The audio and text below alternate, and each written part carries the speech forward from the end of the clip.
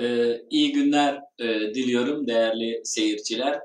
E, bugün e, 8 Mart e, Dünya Kadınlar Günü. E, çok önemli bir gün e, Dünya Kadınlar Günü e, açısından. Tabii e, dünyadaki e, bu Kadınlar Günü Amerikan e, kadınları tarafından icat edilmiş günümüzde ama aslında e, Türk kadınını da anılmaya değer e, yüce anıttır Türk kadını. Çünkü Türkler Orta Asya'dan bu yana Türklerin tarihi incelendiğinde gerçekten e, kadına en çok değer veren, e, bizim eski yazıtlarımız şöyle başlar. Hakan ve Hatun diyor ki diye başlar. E, Türk Hakanlarıyla eşit düzeyde. E, Christoph Kolomb'un bir Türk e, boyunu ziyaretinde yazdığı şeyde e, kendisiyle evlenmek isteyen e, damat adayını güreştirerek işlerinden en iyi güreşeni seçecek düzeyde özgürce eşini seçebilen bir e, Türk e, kadınından bahsediyoruz. E, o dönemdeki e, otağlarda, çadırlarda atlara bakan, çocuk yetiştiren, yeri geldiğinde savaşçısını en iyi şekilde savaşa hazırlayan, e, yoğurt yapan, peynir yapan, yörüklerin e, geleneklerini, göreneklerini, çadırlarını yamayan emektar Türk kadınları. Ve gelip e, Selçuklu'ya baktığımızda Selçuklu'nun Konya'daki Karatay e, müzesi olarak kullanılan eski Karatay medresesindeki Türklerin bu e, seramiklerine baktığımızda oradaki Türk e, kadınlarının muhteşemliğini, güzelliğini, e, emektarlığını, her şeyini e, tarih izleri olarak oraya nakşetmişlerdir. E, görebiliriz. E, Osmanlı kadınlara çok değer vermedi. E, Osmanlı dönemini es geçiyorum ben. E, bahsedilmeye bile değmez. Çünkü Osmanlı'da kadın kadın bile değildi yeri geldiğinde. Çünkü Arap kültüründe egemen olan yerlerde kadının adı yoktur. Kadının değeri yoktur. E, kadın orada bir sadece e, doğurma aracı olarak kullanılır. E, kız çocuklarına bile değer vermez. Ve e, buradaki e, Gazi Mustafa Kemal Atatürk'ün e, çok önemli bir şeyi var. E, kadınların geri bırakıldığı e, toplum geri kalmaya mecburdur diyen Gazi Mustafa Kemal Atatürk kadınları en iyi anlayan e, ulu önderimizdir. Cumhuriyetin kuruluşunda kadınlarımızın çok büyük emeği vardır. E, savaşın kazanılmasında Çanakkale Savaşı kadınlarımız aynı şekilde cephe gerisinde e, hemşire olarak görev yapmıştır, hasta bakıcı olarak görev yapmıştır, dolak örmüştür, çarık yapmıştır, çorap örmüştür, kazak örmüştür, cepheye destek olmuştur, e, mermi imalathanelerinde çalışmıştır Türk kadını. E, ve e, baktığımızda e, 1914-1918 arasındaki o e, kanlı süreçte milyonlarca oğlunu şehit vermiş anaların yurdudur Anadolu. Hangi cephede savaştığını bile bilmeyerek oğlunun belki mezarını bile bulamayan binlerce analar bu ülkede mevcuttu. Sarıkamış Savaşı'nda oğlunun karların altında şehit olduğunu bilmeden ancak oğlunun şehit olduğunu 5 yıl 8 ay 13 gün sonra öğrenen ve ağıt yakan anaların toprağıdır Anadolu.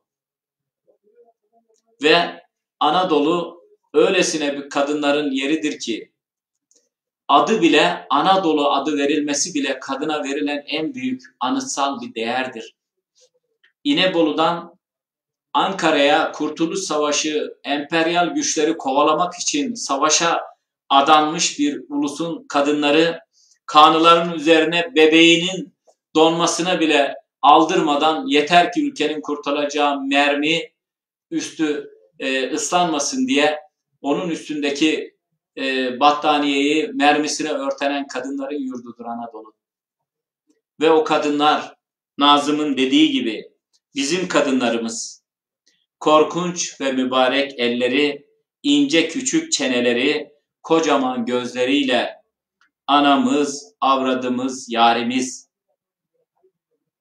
ve sanki hiç yaşamamış gibi ölen ve soframızdaki yeri öküzümüzden sonra gelen ve dağlara kaçırıp uğrunda hapis yattığımız ve ekinde, tütünde, odunda ve pazarda kara sabana koşulan, ağırlarda, ışıltısında yere saplı bıçakların oynak, ağır kalçaları ve zilleriyle bizim olan kadınlarımız.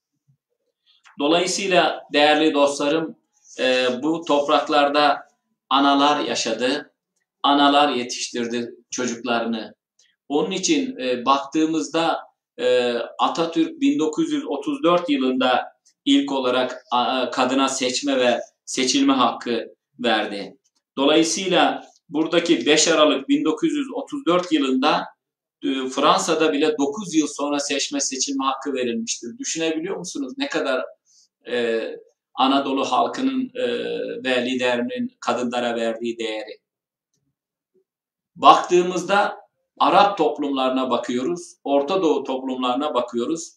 Kadınların sosyal hayatın içinde olmadığı hiçbir toplum iyi bir toplum olamamış, gelişmemiş uygarlık seviyesini yakalayamamıştır.